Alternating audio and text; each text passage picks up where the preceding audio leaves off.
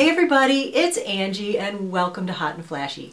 In today's video I'm going to be doing a review and a demonstration on the last eyeshadow palette that I picked up in my Ulta haul from a few weeks back and I impulse purchased this on the way to the register. I had a couple of other palettes in my basket already but I was passing the Ulta brand uh, section and I saw this gilded gold palette and I was struck by how beautiful the shades were and so I decided to throw it in my cart. I usually buy all matte shadows and I love all matte shadows but there are those times you know when you just want to amp it up and add a little glimmer or a little sparkle or a little shimmer to your eyelids and I like having like a wide variety of them without having to spend you know $17 for one or $22 for one pot of of shimmer shade.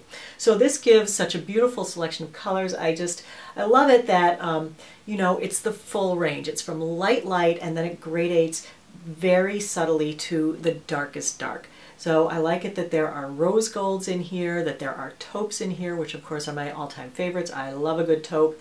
Then, you know, over here there's more uh, mauvey purpley shades and over here you get this beautiful midnight blue and a nice dark black. The other thing that's nice about it is that it does come with a nice and actually usable brush. This is a good quality brush and even if I don't end up using the palette I'll keep the, the brushes going into my brush collection. It's coming out of the palette because I have just been loving this brush.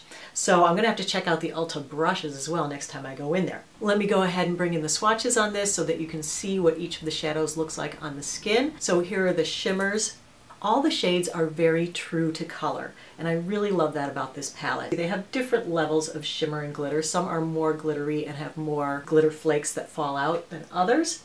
So moving on, the matte row has a little less color payout. The colors are definitely true to themselves. There's enough variation between the colors that it's not like you're getting three of the same thing in this one. They're not as opaque and solid as I would like, especially the last color, Coal, which should be a really nice dark black, but really comes up as just a medium gray. So I've used the palette quite a number of times since I purchased it. I keep trying to get it to go on right and I keep trying to like it. So while I love the shades, I love the colors, I love the, um, the row of mattes and the row of shimmers and sparkles up above and I love the brush, it's not the easiest palette to work with because the colors are so weak. They definitely blend away to nothing. And I really feel like I'm not getting the kind of impact that I want from this palette. Putting it on dry, there is a lot of fallout. So if you're going to use it, definitely use an eyeshadow guard or something. And even using it wet, I thought there would be zero fallout, and I still had fallout just using it wet. So from that standpoint, they're definitely not creamy shadows. They're definitely more powdery than I would like. With some of the shimmers and sparkles, the little pieces of glitter are too big, you know, they fall off and it doesn't really give you that nice effect. They just kind of go away and it becomes, might as well be a matte shade.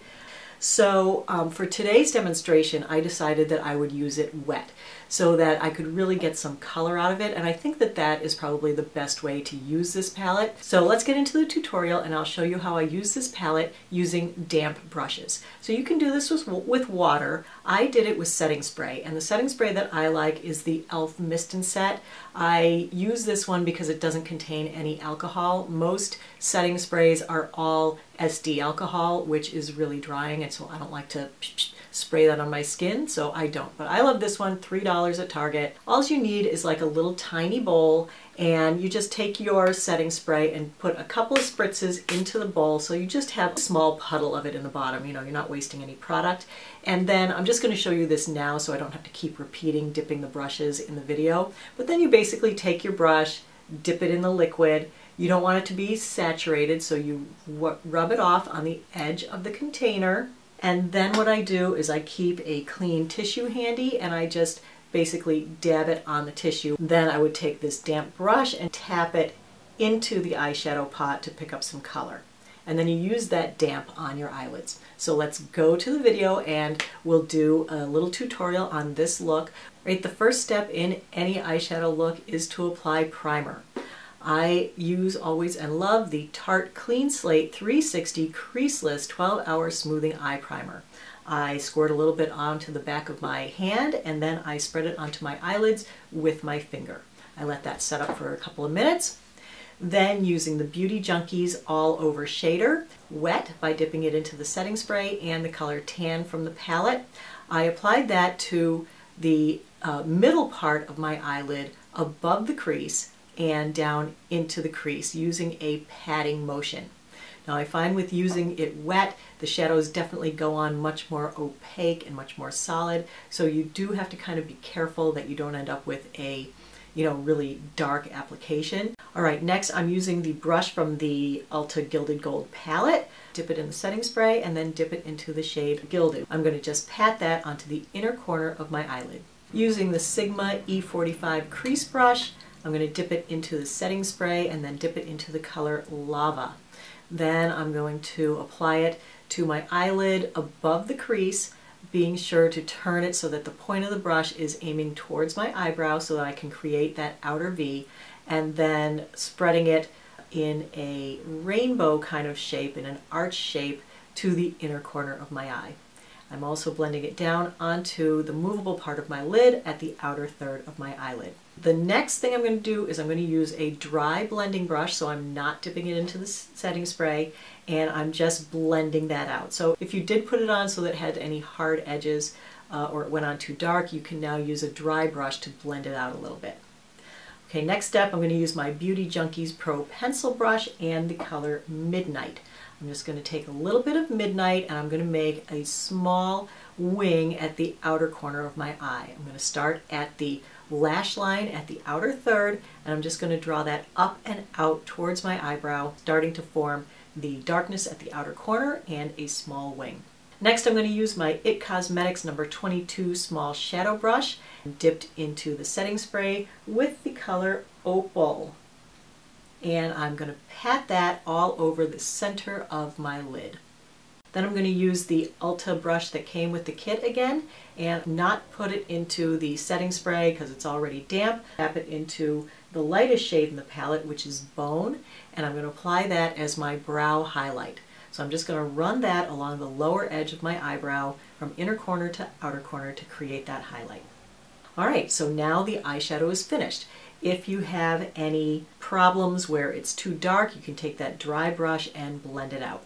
So next I'm going to do some push liner using the Beauty Junkees Pro Brow Brush. I'm using this wet so I'm dipping it into the setting spray and then dipping it into Midnight. So first I'm going to do the waterline on my lower lashes, then I'm going to dip it back into the setting spray and repeat the process on the upper lashes using kohl to darken up the eyeliner on the upper level.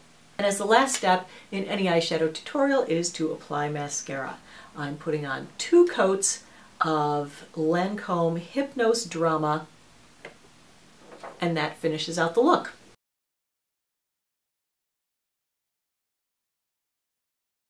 So I feel like using the setting spray with this application method really helps these shadows to add a lot of punch and add a lot of color payout.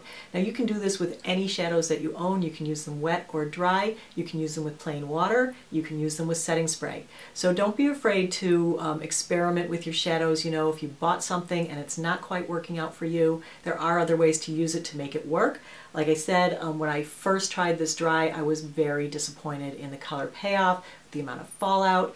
But now that I have um, discovered using it wet, I think that it definitely has potential. So for $20, you know, if you're on a limited income and you want a, um, you know, a decent palette with okay quality, but that you can make it work, I think this is a good option. So that is my full review on the Gilded Gold palette for today.